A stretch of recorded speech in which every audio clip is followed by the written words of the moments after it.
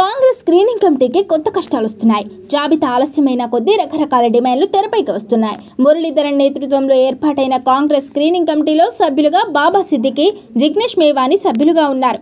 ఎక్సాఫిషియే సభ్యులుగా ఏఐసిసి రాష్ట్ర వ్యవహారాల ఇన్ఛార్జ్ మానిక్ ఠాక్రే ఏఐసిసి కార్యదర్శులు Rohin Chaudhary Vishwanath Mansoor Ali Khan PCC PCC chief Revanth Reddy CLP నేత బట్టి విక్రమార్క నల్లగొండ ఎంపీ ఉత్తమ్ కుమార్ రెడ్డి కొనసాగుతున్నారు. టికెట్ల కేటాయింపుల కోసం దరఖాస్తుల స్వీకరణ పూర్తయిన తర్వాత తొలి సమావేశం గత నెలలో తాజ్ కృష్ణాలో జరిగింది. ఈ సందర్భంగా సునీల్ కనుగోలు సర్వే అభ్యర్థుల బలాబలాలు సామాజిక సమీకరణలపై చర్చించారు. తర్వాత రకరకాల ఒత్తిళ్ళు సామాజిక సమీకరణాలు సీనియర్లకు స్థానం కల్పించడంలో భాగంగా స్క్రీనింగ్ కమిటీలోకి భువనగిరి ఎంపీ కోమటిరెడ్డి వెంకటరెడ్డి మదియాష్కి గౌడ్ మాజీ మంత్రి షబ్బీర్ అలీ బలరాం నాయక్లను తీసుకున్నారు. అనంతరం పదుల సంఖ్యలో స్క్రీనింగ్ కమిటీ భేటీ జరిగిన టికెట్ల కేటాయింపు కొలిక్కి రావడంతో ఒక మీటింగ్కి మరో మీటింగ్కి మధ్య కొత్త డిమాండ్ పుట్టుకు రావడంతో ఏం చేయాలో అర్థం కాని పరిస్థితి ఏర్పడింది. ఉదయ్పూర్ డిక్లరేషన్కు అనుగుణంగా ప్రతి పార్లమెంట్ స్థానం పరిధిలో రెండు అసెంబ్లీ టికెట్లను ఓబీసీలకు కేటాయించాలనే డిమాండ్ను బీసీ లీడర్లు తెరపైకి తెచ్చారు. తమకు ముప్పై నాలుగు సీట్లు కేటాయించాలని కోరారు. తర్వాత మహిళా బిల్లుకు పార్లమెంట్లో ఆమోదముద్ర లభించడంతో మహిళా లీడర్లు తమకు కనీసం పన్నెండు సీట్లు కేటాయించాలని డిమాండ్ చేస్తున్నారు. మహిళా కాంగ్రెస్ అధ్యక్షురాలు సునీతారావు అంబర్పేట స్థానం కోసం పట్టుబడుతున్నారు. కానీ గోషామహల్ నుంచి పోటీ చేయాలని ఏఐసిసి అగ్రనేతలు ఆమెకు సూచిస్తున్నారు. అందుకు ఆమె విముఖత వ్యక్తం చేసినట్లు సమాచారం. మరోవైపు ముస్లిం నేతలు కర్ణాటక ఫార్ములాను తెరపైకి తెచ్చారు. అక్కడ పన్నెండు స్థానాల్లో ముస్లింలకు టికెట్లు ఇస్తే తొమ్మిది చోట్ల గెలిపించారని ఇక్కడ కూడా పాత బస్తీ బయట కనీసం ఆరు సీట్లు కేటాయిస్తే గెలిచి చూపిస్తామని పట్టుపడుతున్నారు ఈ వ్యవహారం ఓవైపు సాగుతుండగానే కమ్మ సామాజిక వర్గానికి చెందిన నేతలు రేణుకా చౌదరి కుసుమ కుమార్ ఏకంగా ఢిల్లీ బాట పట్టారు. నిమిషాల్లో ఏఐసిసి పెద్దల అపాయింట్మెంట్ పొందారు. సీట్ల కేటాయింపుపై చర్చలు జరిపారు.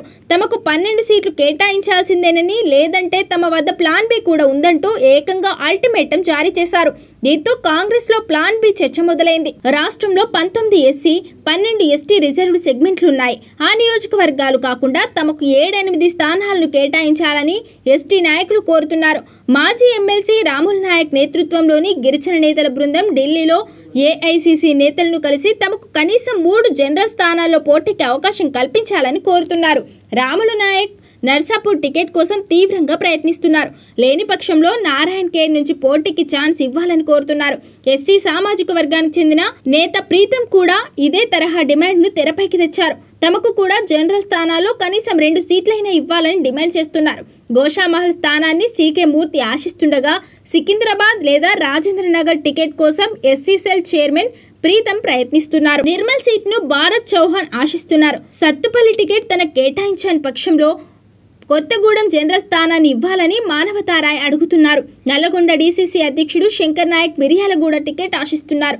ఎస్సీ ఎస్టీ నేతలకు జనరల్ సీట్లను కేటాయించినందున కర్ణాటకలో సక్సెస్ అయ్యామని అదే ఫార్ములాను ఇక్కడ ఇంప్లిమెంట్ చేయాలని డిమాండ్ చేస్తున్నారు. సర్వేలు రిసర్వేలు సామాజిక సమీకరణాలు బలాబలాలు చేరిక వేల హామీలు అన్ని లెక్కలు వేసుకొని జాబితా సిద్ధం చేయడం కాంగ్రెస్ స్క్రీనింగ్ కమిటీకి బిగ్ టాస్క్గా మారింది. ఇప్పటి వరకు హైదరాబాద్ ఢిల్లీలో పదుల సార్లు భేటీ అయిన జాబితా పూర్తి స్థాయిలో ఓ కొలిక్కి రావడం లేదు.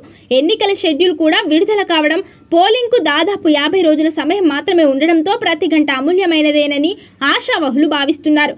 ఈ తరుణంలో జాబితా రూపొందించి విడుదల చేయడం ఆశావహులను బుజ్జగించి దారికి తెచ్చు తెచ్చుకోవడం కాంగ్రెస్ అధిష్టానానికి రాష్ట్ర నాయకత్వానికి కత్తి మీద మారింది.